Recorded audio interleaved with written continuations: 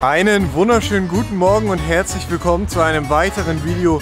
Wir haben 7 Uhr morgens in der Früh in Hamburg. Also das ist nicht ganz richtig, es ist schon 7.30 Uhr. Sowohl ich komme zu spät als auch Hagen. Es geht heute nach Italien, 2500 Kilometer mit dem wunderschönen R6. Bisher ist bei jedem Trip mit Projektautos irgendwas passiert. Entweder man musste im Auto schlafen, Offroad mit einer S-Klasse geballert. Oh, nee. Hat den mal aufgesetzt, ne? Oder ist auch auf einer italienischen Autobahn liegen geblieben. Bruder, CL500.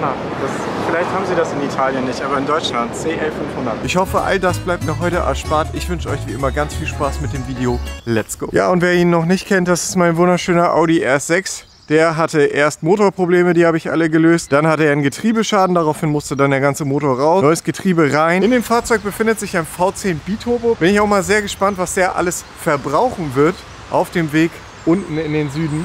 Und wir haben natürlich eine umfangreiche Ausstattung und damit meine ich jetzt nicht die Serienausstattung des Fahrzeugs, sondern ich habe eine richtig dicke Batterie zum Überbrücken, Überbrückungskabel, einen, einen Feuerlöscher und dann geht es hier weiter, Handschuhe, äh, natürlich Essentials wie Duct Tape oder auch Kabelbinder, Werkzeug, Warnweste, Warndreieck, falls ich wieder liegen bleibt, Wasser, Öl, Kühlflüssigkeiten, Drehmomentschlüssel und natürlich mein Kali zum Auslesen. Meine Dashcam kriegt gleich noch eine frische Speicherkarte und dann treffe ich mich nach einer ordentlichen Verspätung mit meinem Konkurrenten, denn der liebe Hagen Amstep, ehemalig Amstep, ne, ist unterwegs mit seinem brandneuen Bentley und ich würde mal sagen, das wird eine schöne Challenge 630 PS versus 630 PS. Nur dass die Mühle hier einfach fünfmal so viel gelaufen hat.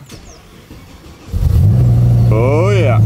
Der Helikopter ist gelandet, Junge. Die Leute fragen mich, Max, warum bleibst du denn immer nur zwei bis drei Tage in Italien? Und das kann ich euch sagen, jeder, der schon mal in einem italienischen Bett geschlafen hat, was jetzt nicht gerade im Hilton Hotel war, Ich gehe jetzt duschen, fall ins Bett, chill noch ein bisschen ab. weiß, wie hart und unangenehm das ist. Ich schlafe eigentlich ganz gerne im Auto. Und nach zwei bis drei Nächten vermisse ich dann doch mein heimisches Bett von Emma Matratzen. Ich habe mir zu Hause nämlich was richtig Fettes gegönnt. Eine unschlagbare Kombination aus einem 9 cm hohen Premium Topper mit Diamond Degree Technology, um meine Körperwärme optimal abzutragen während des Schlafens. Des Weiteren habe ich eine Emma 25 Flip Matratze mit einer mittelfesten und einer festen Seite, die ich je nach Belieben umdrehen kann. Und natürlich mein Premium Stützkissen, welches ebenfalls über Diamond Degree Technology verfügt und genauso wie ich ein kleiner Softie ist. Des Weiteren bietet Emma Decken, Betten und noch weiteres Zubehör für den perfekten Schlaf in ihrem Online-Shop. Und zu Beginn des Frühlings ist bis zum 2.5. der große Frühlingssale, wo viele Produkte von Emma bis zu 50% im Shop reduziert sind. Mit meinem Code Maximiliano spart ihr on top nochmal 5%. Des Weiteren könnt ihr 100 Nächte Probe schlafen und profitiert von einer kostenlosen Lieferung und Wiederabholung. Meine ganzen Produkte habe ich euch unten in der Beschreibung verlinkt. Benutzt meinen Code Maximiliano für weitere 5% on top im Sale und ich wünsche euch wunderschöne Nächte und weiter geht's in Italien.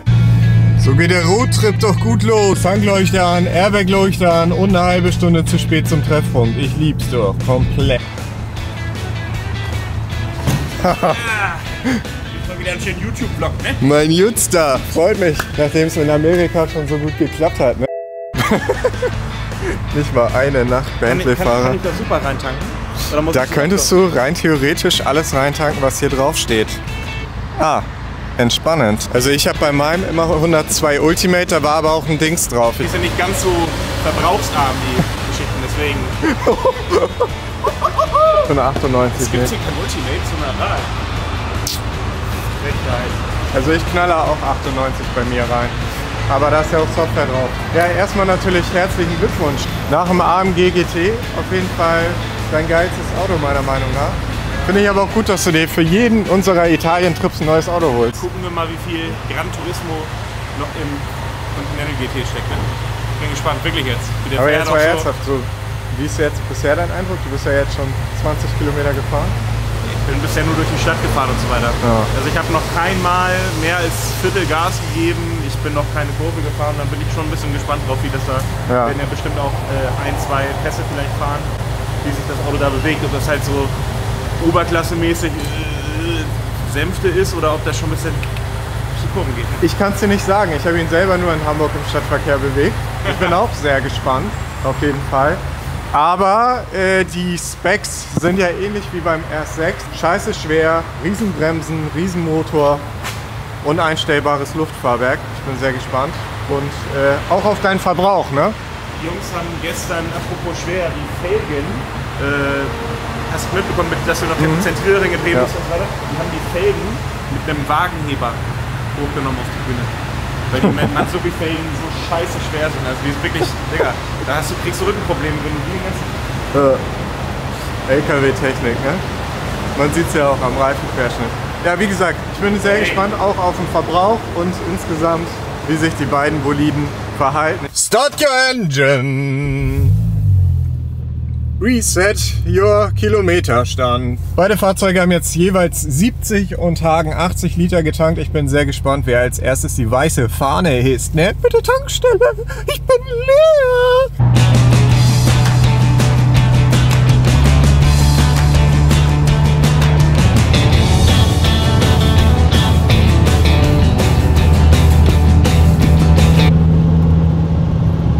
Wir fahren jetzt hier gerade mal runter von der Autobahn. 480 Kilometer bin ich gekommen. Und wenn ich bremse, dann hört sich das Ganze folgendermaßen an.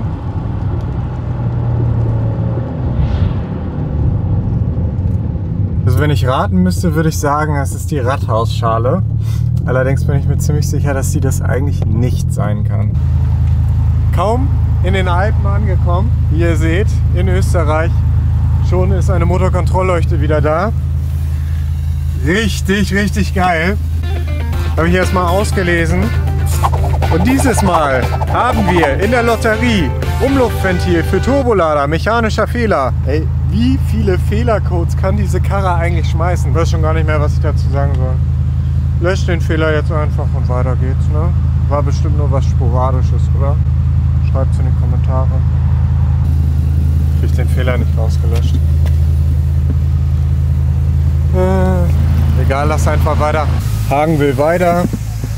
Ich habe auch langsam Bierlaune nach 800 Kilometern. Deswegen fahren wir jetzt einfach mit Motorkontrollleuchte weiter. Scheiß drauf, Digga. Darum kümmere ich mich morgen. Hagen hat auch richtig diesen Vibe. Von wegen, geh mir nicht auf den Sack mit deinen RS6-Problemen.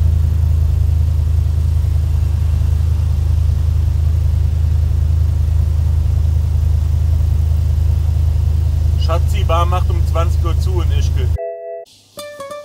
Oh, die Dusche läuft, der Armstep ist wach, der Himmel ist blau und selten war eine Emma-Werbung auf jeden Fall besser in einem Video platziert als bei mir. Oh, damit guten Morgen, Freunde. Wir sind in Riva del Garda gelandet mit unseren U-Boot.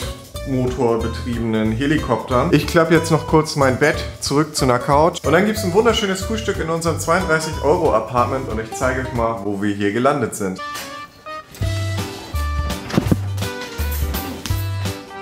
Einfach nur genial.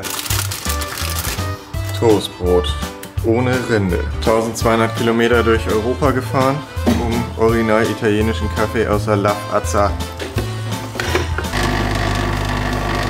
Digga. Einfach wie meine Injektor-Reinigungsmaschine. Also wenn man den Hintergrund rauscroppt und so, dann sieht das aus, als würdest du in Venedig sitzen. Outfit ist wirklich eine 10 von 10. Ja, da ist der Schimmel sogar links und rechts. Wer ist denn sowas? Aber Aber ich jetzt hast du die Butter schon weggelassen. Ich habe die Butter weggelassen, weil die Butter sich. Ist wie in Amerika. Die Butter klumpt so rum und der Käse lässt sich besser verstreichen als die Butter. Deswegen ist das mein Butterersatz. Wie Käse und da, wo Johannisbeer Boah, das ist aber heftig. Südtiroler Speck. This, this is it.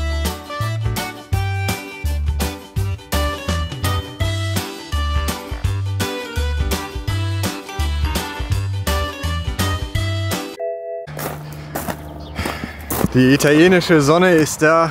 Alter, sieht das hier müllig aus. Wir fahren jetzt mal hoch auf den Berg und dann klären wir mal, was die Babys verbraucht haben.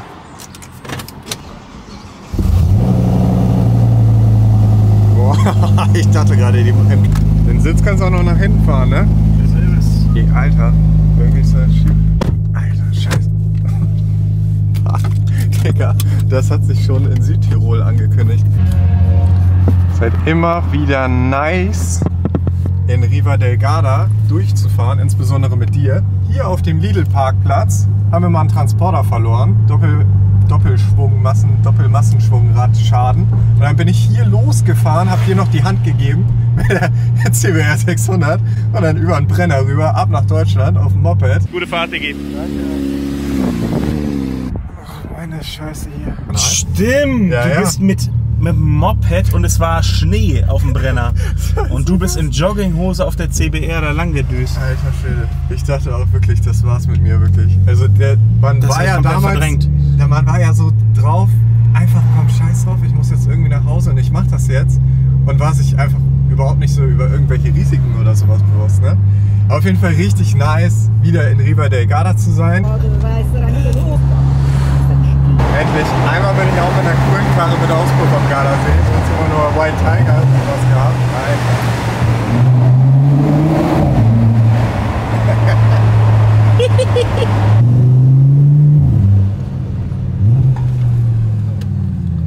Hat er uns doch richtig gut den Berg hochgebracht, ne? Der kleine Quattro. So, Freunde, angekommen auf der berühmten, der allerechten Aussichtsplattform. Die Lüfter sind wieder ausgegangen. Der RS6 hat es geschafft. Wir sind erfolgreich am Gardasee angekommen. Ganz hinten in der Bucht ist Riva del Garda. Das Haus da. Ja. Nächstes Ich würde hier nie wieder Bauernhofprojekt. weggehen, Digga. Ich würde hier nie wieder weggehen. Einfach da chillen.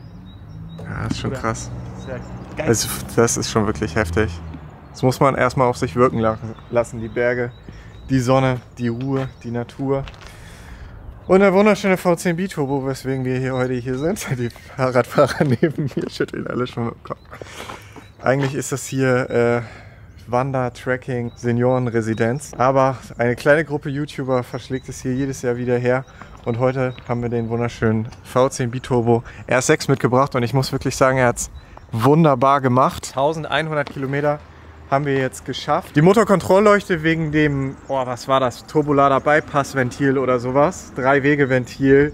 Fehlfunktion, die ist nicht wiedergekommen. Die habe ich vor ungefähr 600 Kilometern gelöscht. Wenn ich den Sensor hätte tauschen müssen, sitzt der hier wieder komplett in diesem ja, Geweih drin. Das heißt, man hätte obenrum wieder alles abbauen müssen, Ansaugbrücke wieder ab und dann den Sensor tauschen. Den hätte es tatsächlich hier auch in Italien gegeben, weil der für viele Turbo-Diesel und sowas halt ein ja, bekanntes Ersatzteil ist, was gerne mal kaputt geht. Richtiges Werkzeug hätte ich tatsächlich auch dabei gehabt, um das hier alles auseinander zu fummeln und mal kurz das Ventil zu tauschen. Allerdings hat sich der Fehler dann von selber erledigt. Ne? Ich denke mal, das war also wirklich, man will jetzt wirklich die Lage nicht übertreiben. Der RS6 hat es wirklich wunderbar gemacht. Einmal muss ich jetzt einen halben Liter Öl nachfüllen. Da hat er mir einmal angezeigt, dass er was braucht. Ansonsten wirklich wunderbar. Ich bin richtig, richtig zufrieden mit dem Fahrzeug. Das einzige Manko, was wir haben, und das finde ich schon sehr krass, wenn man halt bedenkt, was mein alter Bentley verbraucht hat, ist, dass ich auf die gesamte Strecke unter 10 Liter weniger verbraucht habe als du im Bentley. Bei ersten Tanke haben wir, glaube ich, zwei Liter Unterschied gehabt. Und wir haben zweieinhalb Mal voll getankt, also würde ich sagen, unter fünf Liter habe ich mehr verbraucht auf die ganze Strecke. Und er hat ein Liter Hubraum mehr. Ja, Leistung fast identisch, Gewicht auch, aber hätte ich nicht gedacht. Ja, also ich bin auch positiv überrascht von Bentley, muss ich sagen, weil du mir auch Angst gemacht hast, äh, dass man den nicht unter 17 Liter bewegen könnte, aber ist ja Quatsch. Wir sind jetzt auch nicht gerast, ne? Bisschen enttäuscht, glaube ich, weil du dachtest, dass er, dass er, dass er äh, weniger verbraucht, ne? ich bin komplett- Was sagst du, was er verbraucht? Sag mal. Max sagte 10 Liter. Max sagte, es ist ein S500. Ich dachte schon so 11, 12 Liter. Bin ich ehrlich. Aber ja, das macht den Karren auch nicht fett. Jetzt, würden, jetzt können natürlich alle wieder auch in die Kommentare schreiben, Kraft kommt vom Kraftstoff, bla bla bla. Ich würde es einfach einmal zeigen, dass das einfach eine richtige Saufziege ist, genauso wie der Bentley. Beim Bentley kann ich es aber noch äh, verstehen. Die Relation von Verbrauch zu Leistung, Gewicht, Sänfte etc. Beim R6 muss ich ganz ehrlich sagen, nicht. Also, ja. Aber wen juckt schon der Verbrauch? Wenn wenigstens Reparatur und Wartung jetzt nicht wieder anfallen nach diesem Trip. Wir wollen es jetzt auf jeden Fall nochmal richtig wissen. Dylan noch ein bisschen mit dem V10 Biturbo hier durch die ja, Alpen, hätte ich fast gesagt, durch die Berge. Wenn euch das Video gefallen hat, lasst gerne einen Daumen nach oben da. Ich wünsche euch noch einen ganz wunderschönen Tag. Haut rein. Bis dann. Derjenige, der immer im Hintergrund sitzt und dann so macht. Tschüss. Mit Pierre ist das immer gut. Kostenloses Abo. Ja, mit Pierre ist immer gut. Bis dann. Habt eine gute Zeit. Bis dann. Ja. Tschüss. Und immer in der Hand bereit. Öl unten in der Ölwanne. Beziehungsweise eine flache Hand mindestens. Das reicht.